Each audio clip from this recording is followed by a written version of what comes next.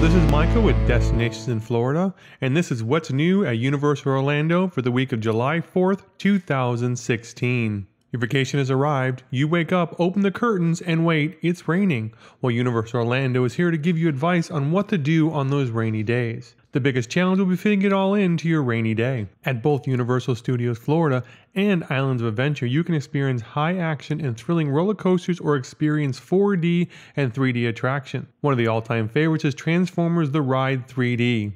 The virtual effects on this ride are spectacular. You can also get goosebumps from riding Harry Potter and Escape from Gringotts. From the moment you enter the line, the whole experience makes you feel like you're in the movies.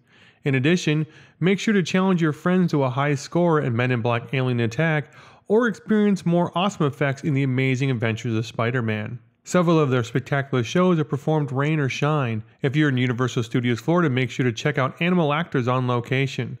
Who wouldn't love seeing adorable animals performing unique tricks? In Islands of Adventure, you can experience the exciting action of the eighth voyage of Sinbad stunt show or amazing follow-along adventure of Poseidon's Fury. With numerous dining options on property, you have several options that will suit everybody's palate when it rains. From fine dining to casual and pickup service is an option for everyone. You'll certainly feel like you're in the movies at Leaky Cauldron and Three Broomsticks. If you're staying at one of their fun resorts, take the time to go bowling with the family at Galaxy Bowling Restaurant. At Universal City Walk, you can spend time looking at the memorabilia on the walls of the Hard Rock Cafe Orlando. If you're a fan of music and quality entertainment, you'll love the Blue Man Group in Universal City Walk on a rainy day.